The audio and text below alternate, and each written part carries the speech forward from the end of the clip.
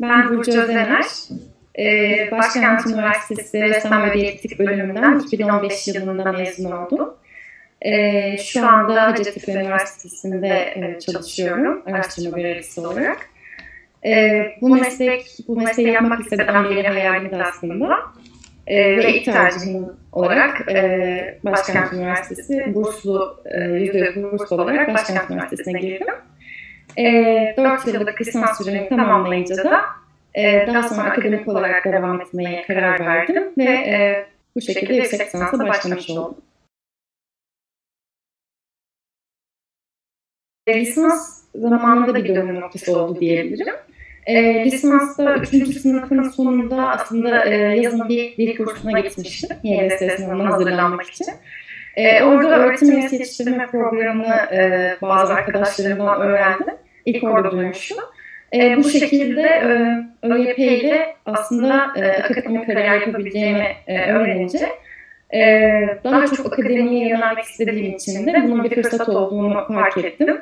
E, üçüncü sınıfta YDS puanımı e, bir aylık çalışma sonunda aldım ve e, yine not ortalamamı yüksek tutmaya çalışarak e, ve ALES'e e, hazırlanarak bu şekilde bir e, puanım oluşmuş oldu ve e, ÖYP programına başvurdum.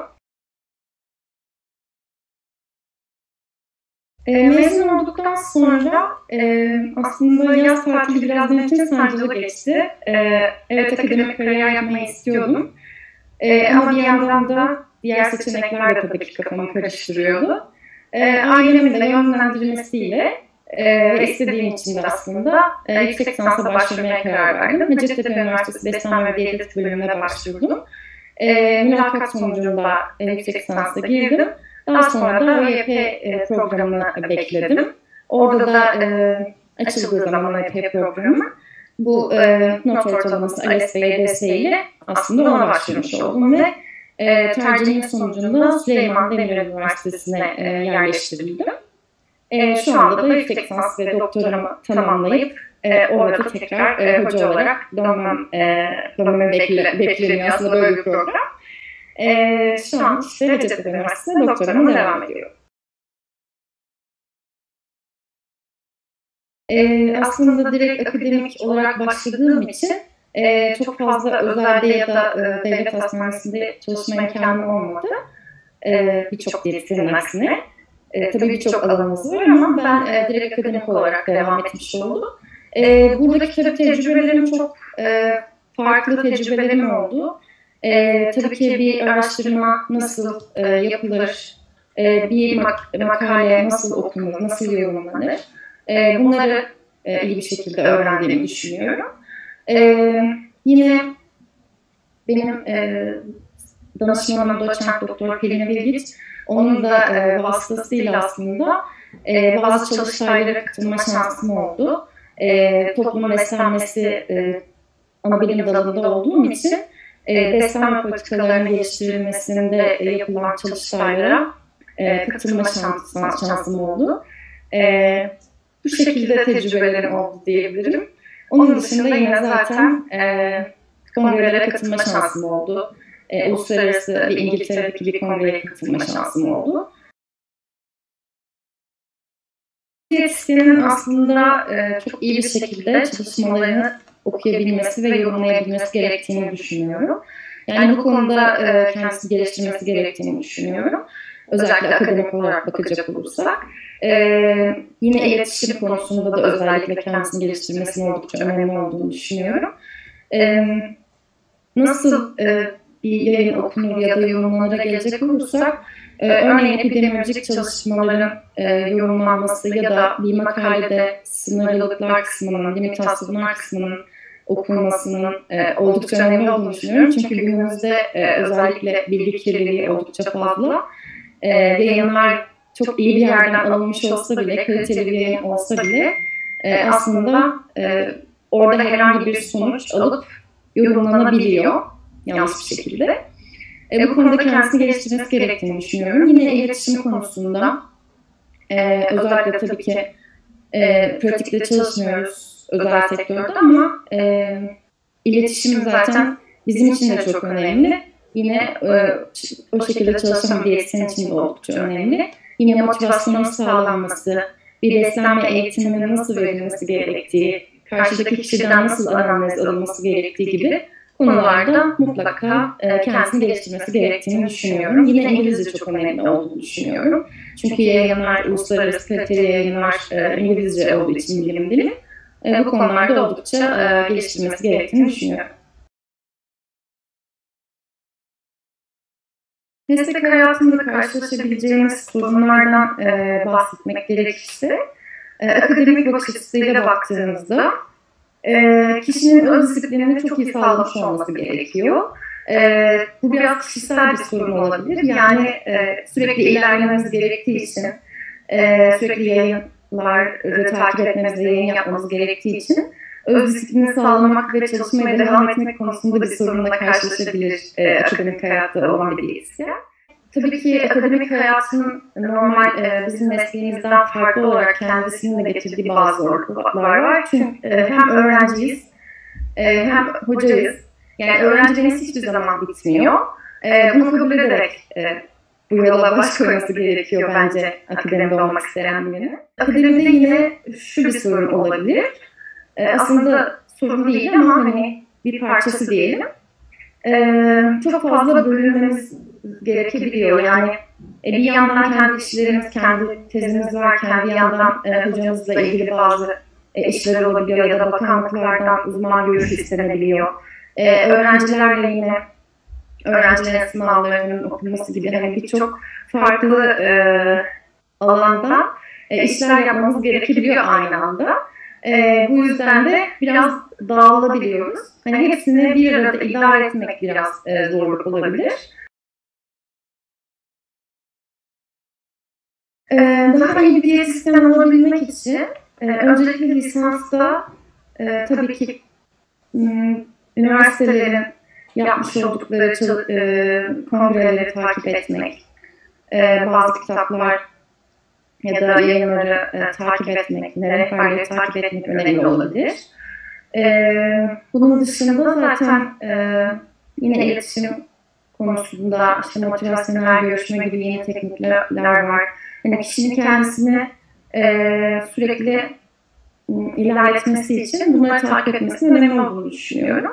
Onun dışında zaten mezun olduktan sonra mutlaka bir yüksek lisansın gerekli olduğunu düşünüyorum. E, alanlaşma çok fazla mesleğimizde olmadığı için kendi e, istediği alanda kişinin uzmanlaşması için de tek yol aslında şu an e, yüksek lisans yapmak gibi gözüküyor. E, tabii ki bir alanda da uzun yıllar çalışarak Hani mesela diyabet alanında çalışan biri ben diyabet diyetisyeniyim diyebilir ama e, bu konuda mutlaka yüksek lisans yapması gerektiğini düşünüyorum. E, onun dışında zaten meslek yasası da e, Türkiye Diyetisyenler Derneği'nin e, hazırlık aşamasında olduğu bir şey. Umarım uzmanlaşmanın da e, gelmesiyle birlikte bu konularda kişinin istediği alana yönelebileceğini göreceğiz ileride. E, ben kitap olarak değil de şunu çok e, söylemek isterim.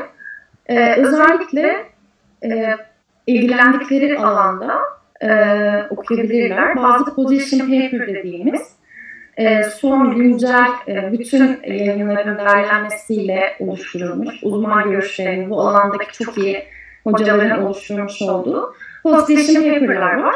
Onları takip etmelerini önerebilirim. E, bunun dışında zaten e, okulumuzda yine e, çok değerli hocalarımızın kitaplarından e, derslerimiz oluyor. Yine e, yurt dışı kaynakları da takip edebilirler ama e, özellikle rehberler, e, position paper'lar e, bunları mutlaka takip etmelerini öneriyorum. Öncelikle herkesin tabii bireysel olarak üstüne düşeni yapması gerekiyor. Yine aynı şeye geleceğiz ama sürekli kendini güncel tutması ve e, yayınları takip etmesi gerekiyor. Ee, bunun dışında yine dernekler aracılığıyla, derneğimiz aracılığıyla da e, bazı şeyler yapılabilir. Ee, daha ileriye gitmemiz için özellikle bilgi kirliliğinin önüne geçmek adına üzerimize düşen görevler olabilir. E, diyetisyenlik mesleğinin zor yönlerinin e, en zor kısmının e, kişiyi hayat tarzı değişikliğine ikna etmek olduğunu düşünüyorum. E, çünkü e, kişiler herhangi bir e, sağlık sorunu yaşamadıklarında özellikle sağlıklı beslenmeyi çok da tercih etmeyebiliyorlar. E, herhangi bir yanlış beslenme sonucu ertesi gün bir hastalık yaşanmayacağı için e, kişilere bu yeterli dengeli beslenme ve fiziksel aktivitenin artırılması konusunda sağlıklı yaşam tarzına e, yönlendirmemiz e, bence meselемizin en zor e, kısmı. E, burada da yine bunu sağlayabilmemiz için hem kendimizin e, bilgi düzeyimizin yüksek olması gerekiyor, e, karşıya bunu aktarabilmemiz gerekiyor. E, bunu kolaylaştırabilmemiz için de yine motivasyon teknikleri gibi bazı şeyler e, yapılabilir. Özellikle e, birebir çalışıyorsak kişilerle. E, bu olanı oldukça seviyorum. Zaten e, lisans döneminde en sevdiğim dersi. E, lisans döneminde karar vermiştim e, sporcu beslenmesiyle ilgilenmek istediğimi.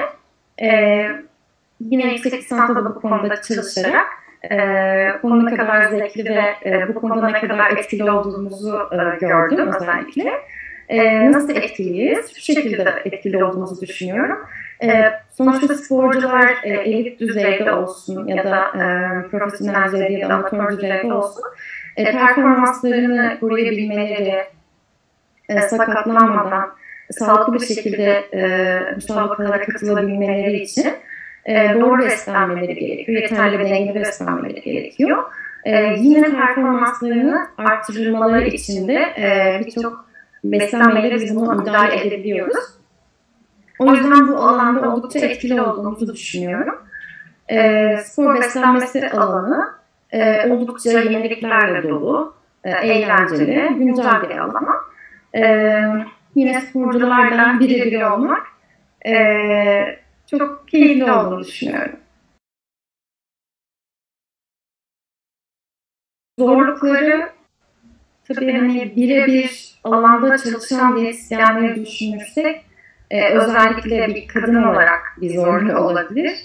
E, sporcularla birebir onların bu soyunma odalarında bile olabilmek aslında e, özellikle futbol düşündüğümüzde e, önemli. Ama bir kadın olarak tabii bir, bu zor olabilir e, bunu başarmak. E, onun dışında sporcular e, çok fazla e, yoğun e, antrenmanları olduğu için ve sürekli müsabakalara gittikleri için hatta çok fazla şehir değiştirdikleri için e, oldukça yoğun bir grup. E, bu grupla iletişim kurma açısından bazen zorluklar olabiliyor.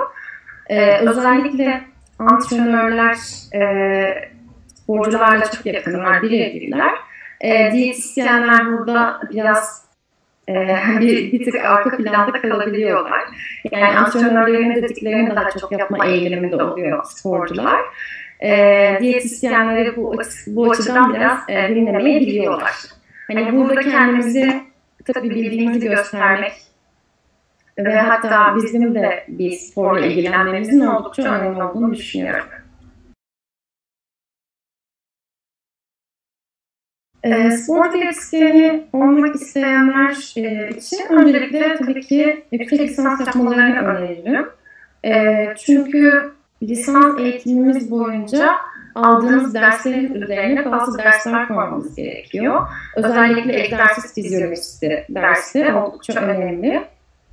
E, yine sporcularda e, biyokimya bunların çok iyi bilinmesi gerektiğini düşünüyorum. Yine sporcularda planlama beslenme gibi daha çok sporculara yönelik derslerin alınabilmesi için ve bu konuda e, araştırmaların daha e, ayrıntılı bir şekilde incelenebilmesi için bir yüksek lisans yapmaları gerektiğini e, düşünüyorum.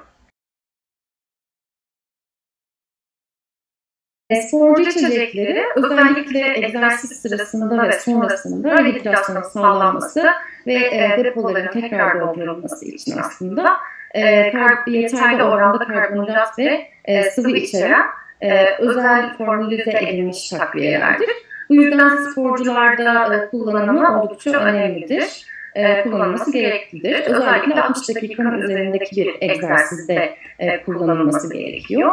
E, 45 dakika üzerindeki egzersizlerde aslında bir ağız çalkalama e, şeklinde de kullanılabilir.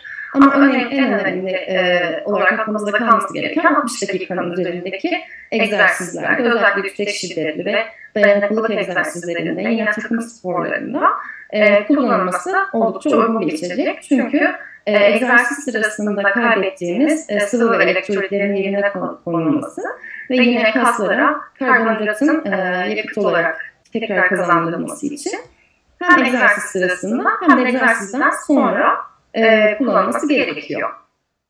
Sporcu içecekleri e, sporcunun aslında hem e, terle kaybettiği sıvının yerine koyduğu için egzersiz sırasında özellikle e, sıvı ihtiyacını karşılamak için tercih edilebilir. 15-20 dakikada bir e, 200-300 mililitre kadar yani bir su bardağı, bir buçuk su bardağı kadar tüketilmesi uygun.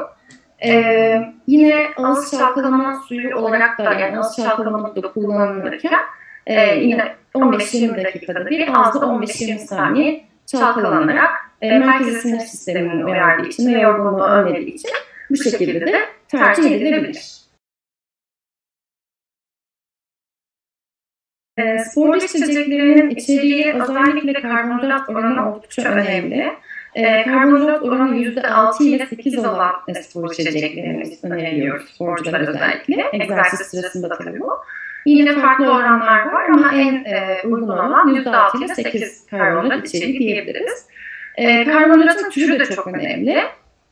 Özellikle glikoz ve fruktoz içeriği olan spor içeceklerinin kullanımı çok daha e, faydalı olacaktır. Çünkü e, ince bağırsaklardan farklı e, transport sistemiyle e, emildiği için hem glikoz hem fruktoz farklı şekilde emildiği için aslında emilim oranını arttıracaktır. Ve yine e, oksidasyonun e, sağlanması için yani kaslara daha e, hızlı bir şekilde yakıtı sağlayacağı için ve mideden hızlı bir şekilde boşalacağı için e, bu oranlarda ve bu karbonhidrat içerikli spor içecekleri tercih edilmelidir. E, yine spor içecekleriyle enerji içecekleri çok fazla karıştırılıyor sporcular arasında. Bunun da kesinlikle farklı olduğunu unutmamamız gerekir. E, enerji içeceklerinin içerisinde uyarıcılar olduğu için kafein, taurin gibi e, kesinlikle e, sporculara önermiyoruz. E, spor içecekleri güvenli bir şekilde egzersiz sırasında, sonrasında, yine öncesinde de tercih edilebilir. Her sporcunun supleman kullanması uygun olmayabilir. Ee, özellikle elit düzeydeki sporcularda supleman kullanımı düşünülmeli. Çünkü e, elit düzeydeki sporcular müsabakalara katıldıkları için e, onların aslında performanslarını arttırmaya oldukça ihtiyaçları var. E, normal e, egzersiz yapan kişilerin e, yine de supleman kullanma, kullan, kullanmasına gerek yok aslında. E, şöyle zaten fiziksel aktivite, egzersiz ve spor tanımlarını ayırmamız gerekiyor burada. E, herhangi bir fitness'a giden bir kişinin yeterli ve dengeli beslenmesi e, yeterli olacaktır. Çünkü e, yaptığı sporun e, süresi ve e, miktarı, şiddeti e, supleman kullanmasını gerektirmemektedir. Ama e, eğer ki elit düzeyde bir sporcuyu düşünecek olursak, bu sporcunun e, alması gereken makro ve mikro besin ögelerini e, doğru, doğru bir şekilde karşılayıp, karşılayıp karşılamadığına bakmamız gerekiyor. E, bunu nasıl yapıyoruz? Tabii ki beslenme durumunun saptanmasıyla, besin tüketiminin değerlendirilmesiyle yapıyoruz. Eğer ki e, eksik düzeyde alınan bir makro ya da mikro besin ögesi varsa tabii ki burada desteklenebilir e, sporcu. Yine yeterli ve dengeli beslenmenin öneminin altına yine de çizmek istiyorum. Çünkü biyoyararlılık açısından e, en önemlisini besinlerle al, alması, almamız gerektiğini biliyoruz zaten hepimiz. Burada yalnızca şunu düşünmemiz gerekir. Sporcularda performansı arttırılmaya yönelik sporculara özel per, e, formüle edilmiş spor gıdaları, yine spor içecekleri bunların içerisinde, spor barları bunların içerisinde, izole protein tozları bunların içerisinde e, kullanımı uygun olabilir kişiye göre e, baktığınız zaman. Yine performansı arttıran bazı e, suplemanlar var. Mesela kafein, kreatin, sodyum bikarbonat gibi. E, yine bunlar da düşünülebilir ama bunları da düşünürken tabii ki e, alt kanat düzeyinde olması gerektiğini unutmamalıyız. Avustralya Spor Enstitüsü e, suplemanların e, kanıt düzeyine göre dörde ayırıyor. A, B, C ve D olarak. Burada A e, kategorisindeki güvenli olduğu, etkili olduğu ve doping içermediği e, belirlenmiş olan suplemanların kullanılması gerekmekte. Ee, özellikle e, sporcuların kullanması uygun olmayan suplemanları da unutmamamız gerekir ve bunları takip etmemiz gerekir. E, yine Avustralya Spor Enstitüsü'nün e, D grubunda, D kategorisinde yer alan suplemanların kullanımı uygun değil sporcular için. E, çünkü bu e, yine e, kontaminasyon riski yüksek oldukları için doping olarak e, gözükebilirler. E, dopinge neden olabilirler. E, yine e, Dünya Doping Ajansı'nda yasaklı olanların e, mutlaka takip edilmesi gerekmektedir bir diyetisyen tarafından. E, yine e, yine kullanılan suplemanlarda çok iyi araştırılması gerekir. Özellikle elit düzeydeki bir sporcunun böyle kontaminasyon riskinden dolayı e, dopingde çıkmaması için ayrıca dikkat edilmesi gerekir.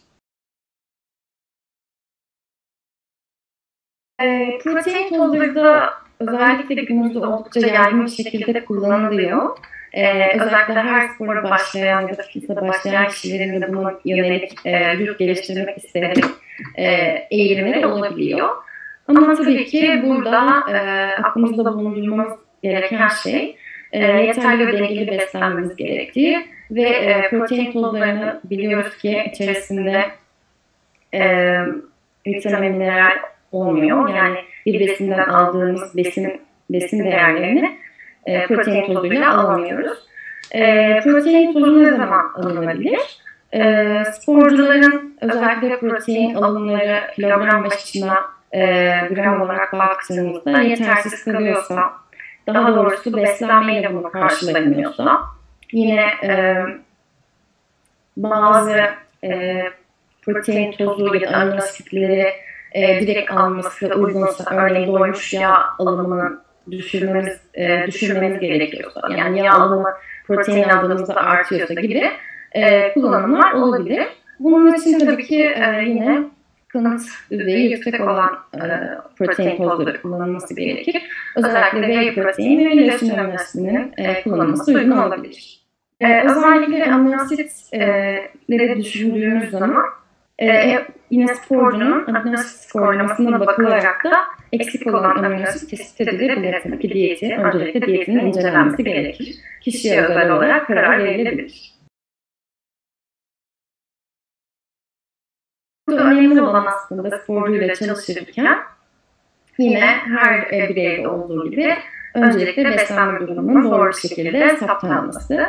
E, bunun için e, yine diyet ve alımının değerlendirilmesi, antropometrik ölçümlerin değerlendirilmesi e, ve yine e, kan bulgularının klinik göstergelerin değerlendirilmesi önemli. E, burada vücut kompozisyonu oldukça öne çıkıyor. Bunu e, farklı olarak bunu düşünmemiz gerekir. E, biliyoruz ki sporcularda beden kütle endeksinin kullanımı uygun değil. E, sporcularda kas e, kütlesi, kas oranı daha yüksek olduğu için ve yağ yüzdesi düşük olduğu için e, sporcuların vücut kompozisyonunun belirlenmesi oldukça önemli. E, bunun dışında sporcularda tabii ki e, özellikle elit sporcularla çalışan bir diyetisyeni e, yine performans çıktılarına da yorumlayabilmesi gerektiğini düşünüyorum. E, sporcuların performans ölçümlerinde elde edilen verilerin yine egzersiz fizyolojisi e, bilerek e, yorumlanması e, ek olarak e, bir katkı sağlayabilir diyetisyene. E, yine çünkü e, beslenmeyi direkt performansı etkilediğini düşünürsek e, sporcunun yeterli ve dengeli beslenmesinin e, sakatlanmadan aslında antrenmanlardan uzak kalmadan e, performansını da arttırarak e, sergileyebilmesi için performansını e, beslenmenin takip edilmesi, kişinin takip edilmesi oldukça önemli. E, bu yüzden özellikle sporcularla çalışan bir diyetisyenin e, antropometrik ölçümleri, e, özellikle vücut yağ yüzdesini nasıl saplaması gerektiğini e, bilmesi gerektiğini düşünüyorum. Ben tabii ki e, Hacettepe Üniversitesi beslenme diyetetik bölümü toplum beslenmesi ana bilim dalında olduğum için e, toplum beslenmesinin çok önemli olduğunu ve e, çok keyifli olduğunu düşünüyorum. Yani ileride bu alanda e, özellikle ülkemizde şu an biliyoruz ki eksikler var. İleride bunların e, umarım giderileceğini düşünüyorum. E, daha açmam gerekirse şu an e, koruyucu sağlık, birinci basamak sağlık e, olarak baktığımızda aile sağlığı merkezlerinde ve toplum sağlığı merkezlerinde diyetisyen sayısının az olduğunu görüyoruz. E, ileride e, buralarda diyetisyen istihdamının artması e, artacağını e, öngörüyorum aslında. E, öyle olmasını isterim. Ve e, yeni mezun olan öğrencilerimizin bu alanda çalışmasının e, güzel olacağını oldukça önemli olduğunu düşünüyorum. Özellikle günümüzde obezitenin bir pandemi gibi olduğunu düşünürsek, oldukça yaygın olduğunu ve yine çocukluk obezitesinin e, gitgide yayıldığını düşünürsek, e, koruyucu e, sağlıkta yani birinci basamakta diyetisyenlerin oldukça önemli rolleri var. E, kişinin doğru bir şekilde yeterli dengeli beslenmesi ve fiziksel aktivitesinin arttırılmasında e, diyetisyenin, diyetisyenin rolünün oldukça önemli olduğunu e, bilmemiz gerekiyor. Yine aile sağlığı merkezlerinde ve toplum sağlığı merkezlerinde e, bu konuda bir diyetisyen alımı e, olursa bu oldukça e, güzel olacaktır. Aynen aile hekimi gibi bir aile diyetisyeninin olması e, obezite ve obeziteye bağlı kronik e, hastalıkların önlenmesi için oldukça önemli olacaktır diye düşünüyorum. E, umarım e, mezun olan öğrencilerimiz de bu alanda çalışma fırsatı bulabilirler.